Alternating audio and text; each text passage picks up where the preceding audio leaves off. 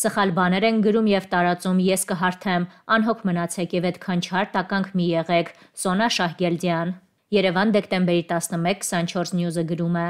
Երգչուհի Սոնա Շագելդյանը Facebook-յան իր էջում գրառում է արել, արձագանքելով իր նկատմամբ հետախուզում հայտարարելու մասին լուրին հաջորդած քննարկումներին։ Այդ որ գրում եք գոռում էի Նիկոլ, այդ ես երբ եմ գոռացել Նիկոլ։ Ես ինքս եղել եմ միշտ ժողովրդիս կողքին, միշտ ու հիմա զինվորիս կողքին։ Դուք ինչ եք արել։ Իսկ օրենքը ինչ կապ ունի ով ինչա գոռացել։ Սխալ բաներ են գրում տարածում, ես ինքս կհարթեմ, անհոգ մնացեք ու այդքան չար տականք մի եղեք։ Ամոթ է լիքը ավելի կարևոր հարցեր կան այս կյանքում, ոչ մեկի կողմից էլ չեմ եղել։ Հետև չեմ մտել երբեք, ես ինքս ուզել եմ ամեն ինչ լավ լինի, սաղս էլ գիտենք։ Ինչա կատարվում մեր երկրում, գոնե գիտեք Աստծուց վախեցեք։ Գոնե ես միշտ եմ մաքուր եղել, միշտ Խի որ հետև չեմ մտնում, այսօր մեկի հետ, մյուս օրը մեկի հետ, ոնց լավ լինի իմ համար ապրեմ։ Խի որ ժողովուրդը ինձ հարգում սիրում է դրա համար եք վառվել, սաղին հատ-հատ դատի եմ տալու, գրել է Սոնա Շահգերդյանը։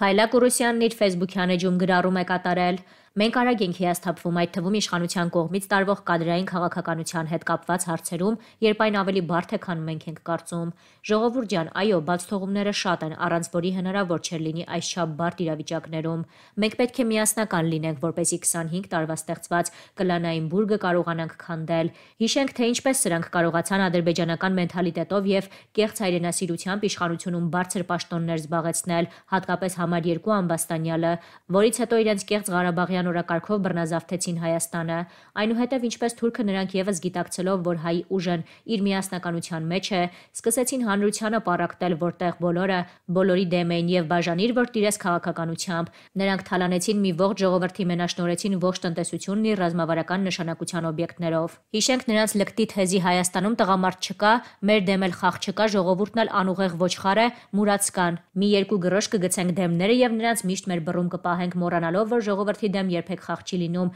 երբ նա միասնական է դառնում։ Դա ընդունված աքսիոմա է ամբողջ աշխարհի մասշտաբով եւ դրա վառապացույցն է 2018 թվականի ժողովրդի ընդվզումը, որի դեմ անզոր եղան նույնիսկ մեծ տերությունները։ Ոստի ամենևին պետք չէ հիասթափվել։ Հիշենք, թե վարչապետն ինչպես է հալածվել իր ամբողջ քաղաքական պայքարի ընթացքում սկսած 1995 թվականից առ այսօր ու ոչ մի անգամ չի ընկրկել եւ իր ուղուց իր պայքարող տեսակից։ Իսկ այսօր անմիտների մի հատված սկսել է կասկածել նրան եւ հիասթափվել նրանից, իսկ որոշ տգետների մի հատված էլ ելնելով իրենց շահադիտական նպատակներից շեղվել են իրենց համոզմունքներից։ Երբ շատերի արժանապատվությունն ու ինքնասիրությունը 30 տարի շարունակ ոտնահարվում էր, նրանք լռում էին, իսկ այսօր, երբ այն վերականգնված է, սկսել սկսել են հիասթափվել։ Նույնիսկ որոշ լայքեր հավաքող մարդ կուսակցությունները ժողովրդի հեղափոխությունն ապրում է ֆորսմաժորային կ ូវ իդի եւ հետպատերազմյան ներքին եւ արտաքին թշնամու դեմ պայքարի այս ցաներ իրավիճակներում եւ անկասկած հասնելու է իր վերջնական հաղթանակած ավարտին։ Ժողովրդի հեղափոխությունն ապրում է ֆորսմաժորային կ ូវ իդի եւ հետպատերազմյան ներքին եւ արտաքին թշնամու դեմ պայքարի այս ցաներ իրավիճակներում եւ անկասկած հասնելու է իր վերջնական հաղթանական ավարտին։ Այսօր նենք թշնամին համագործակցելով ներքին դավաճանների հետ խնդիր է դրել իր արչև ամեն գնով պարակտել մեր միասնությունը եւ ինչու՞ չէ նաեւ Արցախի հասարակ բնակչությանը հայրենակիցներ հետհեղափոխական հետպատերազմյան այս դժվարին պայմաններում նենք թշնամուն դիմակայելու միակ փրկությունը մեր համերաշխության եւ միասնության մեջ է որից սարսափում են մեր երկու թշնամիները առողջ եղեք անկոտրուն եւ զգոն մենք ժողովուրդն է տերը մեր երկրի հայտարարության տեքստը քարի վրա գրած բան չի Եթե դուք տեսնում եք, որ կարող եք իսկապես փոփոխելով ձեր մտահոգությունները հանել, բայց իմաստը պահպանել այս տեքստի, բերեք ձեր առաջարկները։ Մենք մինչև ամսի 15-ը ժամանակ ունենք։ Պարոն Ռուստամյան, բայց մենք խնդիրը նրանում է, որ բովանդակության հետ կապված հենց խնդիր ունենք տեքստի։ Դուք դուք ես անցած մեր քննարկումից հասկացա, որ դուք ասում եք հանենք ամեն ինչ, ինչ վերաբերում է նաև անգամ հայտարարության վերնագրին դուք դեմ եք Դուք ասում եք սահմանագծման, սահմանազատման բառերն էլ հանեք, ձեր ասածն է։ Շատ լավ։ Ես շատ լավ։ Այնքան բան հանեք, որ իմաստը կորի։ Մենք ես առաջարկում եմ եւս մեկ անգամ չմտնենք նույն բովանդակային քննարկման մեջ նույն ձևով եմ ես հասկանում։ Ինչ ոյա տեքստ պետք է լինի, որի վրա աշխատենք։ Հիմա մենք այս տեքստն ենք բերել։ Եկեք աշխատենք։ Ես ամենևին ցանկություն չունեմ նույն քննարկումները եւս մեկ անգամ նույն քննարկումների միջով անցնել։ Ես կարծում եմ, որ մենք բավարար ժամանակ ենք ունեցել իրար կարծիքներ եւ տեսակետներ լսելու եւ բավարար ժամանակ ենք ունեցել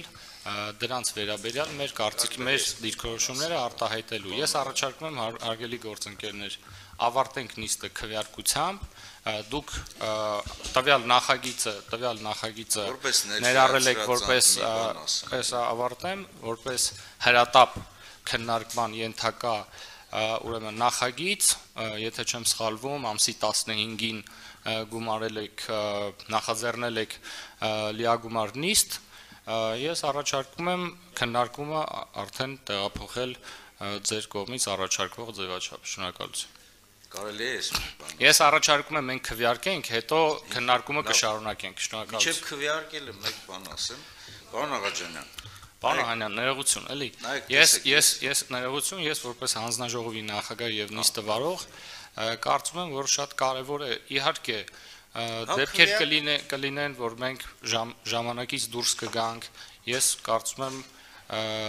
բոլորդ կհաստատեք, որ բավականին ճկուն մեկ առումով, բայց ես կխնդրեմ, որպեսզի այնուամենայնիվ սկզբունքային դրույթները ընդհանցակարգերի պահենք, դրանից հետո եթե քննարկման առաջարկ կլինի որևէ թեմայի վերաբերյալ այդ թվում մեր քննարկած, ես բացեմ ը, քննարկման համար։ Ըստ այդմ առաջարկում եմ նախագիծը դնել քվեարկության եւ այսպես քվեարկության է դրվում սահմանագծման եւ սահմանազատման հիմնախնդիրների մասին Հայաստան խմբակցության հայտարարության նախագիծը ովքեր են դեմ նախագծի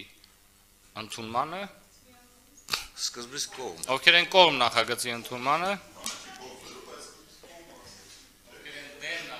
Ընդունմանը ունենք 5 դեմ 4 կողմ, ըստ այդմ նախագիծը չի ընդունվում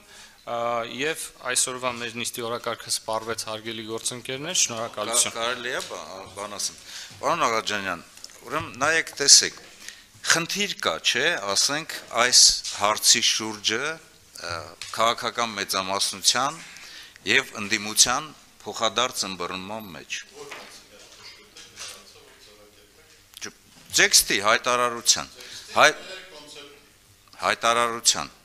Ես իմ խոսքը ասում էլի։ Երկու բառով եմ ասում, խնդիր կա։ Այդ խնդիրը նաև հայտնեցին ձեր կողմնակիցները, ղեկավարները ազգային ժողովում։ Իրենք ասացին աշխատանքային խումբ ստեղծենք եւ նաև հայտարարության տեքստը ունենք։ Որևիցե մի առաջարկ, որևիցե մի նախաձեռնություն ոչ միայն այս հարցի շուրջը, այլ նաև միջև հիմա իրադրության հետ կապված քաղաքական մեծամասնության կողմից չի ստեղծվել։ Հիմա կա խնդիր։ Ձեր գործողությունները բերում են նրան, որ մենք խնդիրը շրջանցենք, ոչ թե խնդիրը լուծենք։ Իսկ խնդիրը, չէ, դուք խնդիրը շր... տվեք առաջարկությունները դնենք սրա մեջ։ Անոհանյան, Շնորհակալություն։ ես եթե դուք կտակ արձագանքեմ, ամեն